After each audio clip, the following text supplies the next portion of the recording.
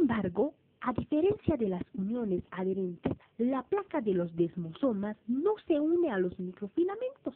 En su lugar se une a otros elementos del citoesqueleto llamados filamentos intermedios que están reconstituidos por la proteína queratina.